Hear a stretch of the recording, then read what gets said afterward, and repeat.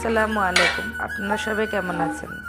আমি লাইজু, ঢাকা থেকে বলছি, আলহামদুলিল্লাহ, আমি অনেক ভালো আছি।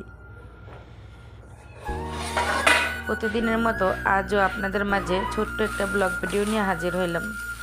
এই তো দুই কেজি গিলা কলেজা নিয়ে আসছি।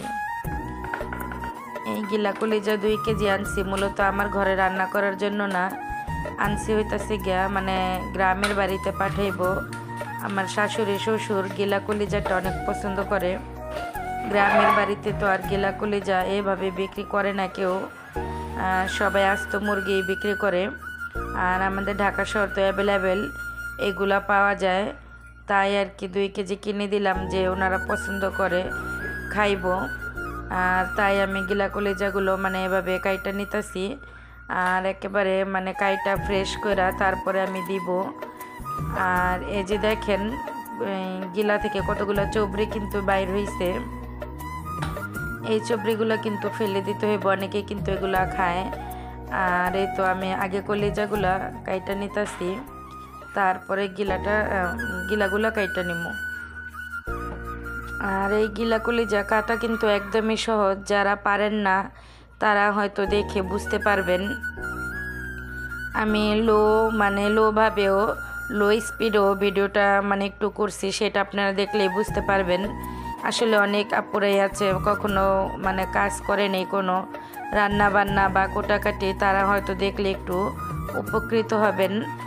আর হইতেছে গিয়া, এই যে দেখেন গিলাটাকে আমি এভাবে হালকাভাবে মানে একটু ফেরে নিলাম। তারপরে কিন্তু এই যে ময়লার যে পটলিটা আছে, সেটা এই যে এভাবে ফেলে দিবেন।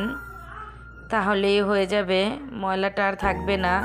আর ওই যে দেখতেই পাচ্ছেন মানে কোনাভাবে আড়াআড়ি করে আছে, সেই ময়লাগুলোই তো এভাবে আমি ফেলে দিব। আর এখন আমি দুই ভাগ করে তারপর একটু কেঁচা দিয়ে নেব। আসলে এভাবে আমরা গিলাটা পরিষ্কার করে নিই। অনেক আপুরাই হয়তো জানে, আবার অনেকে জানে না। আসলে আমরা কিন্তু ছোটোবেলা থেকে ঘরের কাজকর্ম করছি। যেহেতু আমরা আর কি নিম্ন আয়ের মানুষ। আমার বাবা একজন দিনমজুর ছিলেন বা এখন তো আর আমার বাবা কাজ করতে পারে না। সেই হিসাবে আমরা কিন্তু আমাদের ঘরের সব কাজকর্ম আমরা নিজেরাই করতাম। আর এই যে দেখেন আরেকটা দেখিয়ে দিতেছি, এইভাবেই কিন্তু পরিষ্কার করে নেবেন।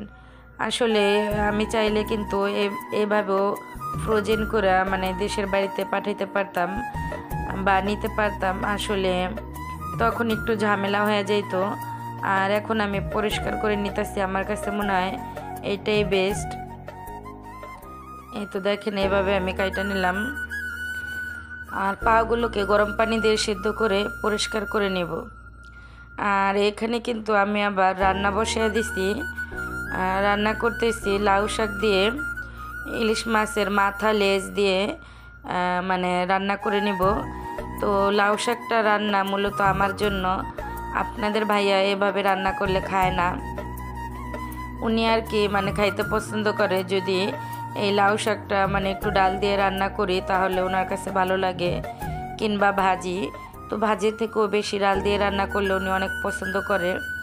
আর এই তো দেখেন মাথা লেজ, টুটলি দিয়ে আমি কিন্তু এই শাকগুলোকে রান্না করে নিছি। আর এভাবে যদি রান্না করি আমার কাছে মানে এতটাই ভালো লাগে যা আর আপনাদেরকে কি বলব? আর শাকটা কিন্তু রান্না হয়ে গেছে। এখন আমি রান্না করব। আমি যে একটি খাসি মুরগি আনছিলাম, আপনারা হয়তো অনেকে আমার ভিডিওটা দেখছেন, যারা সবসময় আমার ভিডিও দেখেন, সেই মুরগিটা থেকে যে বড় একটি চামড়া বের হয়েছে আর হইতাছে গিয়া আমি একটি চামড়া কিনে আনছিলাম। তো দুইটা চামড়া মিলে আজকে আমি রান্না করুম। আসলে এই চামড়াগুলো খাইতে কিন্তু মানে বটের মতো লাগে। আমার কিন্তু মানে অনেক পছন্দ। তো এই চামড়াগুলোকে আমি ভুনা করে নিব। আর এই চামড়া কে কে খাইতে পছন্দ করেন সেটা কমেন্ট করে জানাতে পারেন। আর যারা না খান, একবার হলো ট্রাই করে দেখবেন, খাইতে কিন্তু অনেক ভালো লাগে। আর চামড়াগুলো কিন্তু মানে ধুইতে হইব অনেক সুন্দর করে আমি কিন্তু বারবার কষলে কষলে যে ধুয়া নিছি। আসলে এর মধ্যেই কিন্তু আবার এই যে শাক রান্নাটা হয়ে গেছে। এখন আমি এই শাকটাকে একটু মানে লবণটা কম হয়েছে তাই একটু লবণ দিয়ে একটু নেড়ে তারপরে আর কি নামিয়ে দিব। আসলে শাকে, এই শাকটাতে যদি লবণটা একটু বেশি হয়ে যায়, তাহলে কিন্তু খাইতে একদম ভালো লাগে না। তাই একটু চেষ্টা করি লবণটা মানে বুঝে শুনে দেওয়ার আর এই তো দেখেন, তরকারি রান্নাটা পুরোপুরি হয়ে গেছে। আর এই যে এখন আমি চামড়াটা মানে তেল ছাড়া রান্না করে নেব। আসলে এই ধরনের চামড়া যদি আপনারা খান, তাহলে এভাবে যদি রান্না করেন অন্তত পক্ষে একটি তরকারি রান্না করতে যে তেলটা আপনার লাগতো, সেই তেলটা বেঁচে যাবে। আর আমি কিন্তু ঠিক এভাবে রান্নাটা করে নিই। আসলে স্বাদ কিন্তু একদমই এক রকমেরই থাকে।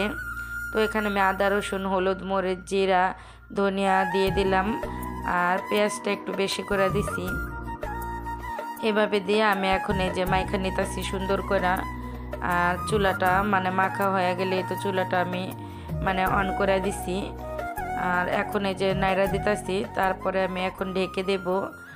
আর এভাবেই আমি এই চামড়াটা মানে রান্না করার চেষ্টা করি। কারণ আর কি এভাবে খাইলে তেলটাও মানে বেঁচে যায় আর তেলটা আর কি লাগেই না ধরতে গেলে। আমি তো তেল ছাড়াই রান্নাটা করতেছি। এই যে এখন আমি মানে হালকা একটু পানি দিয়ে দিলাম, তারপরে ঢেকে দিছি। আর এই যে দেখেন, এখন আমি এই মুহূর্তে বড় সাইজের একটা টমেটো কাইটা দিয়ে দিলাম। আর কাঁচামরিচ, ঝাল, যে যেমন খাইতে পছন্দ করে। তারপরে আমি আমার কিছুটা মশলা ছিল আর কু সেই মশলা মানে অর্ধেকটা মশলা ছিল। সেই অর্ধেকটা মশলা দিয়ে দিছি। তো এভাবে কিন্তু আমি এই চামড়াটা ভুনা করে নিব আর আপনাদের কাছে যদি আমার এই ভিডিওটা ভালো লাগে, তাহলে প্লিজ আমার চ্যানেলটা সাবস্ক্রাইব করে পাশেই থাকতে পারেন। আর পাশে থাকা অল অপশনটা ক্লিক করে দিবেন। আজ এ পর্যন্তই দেখা হবে নতুন কোনো ভিডিওর সাথে। আল্লাহ হাফেজ।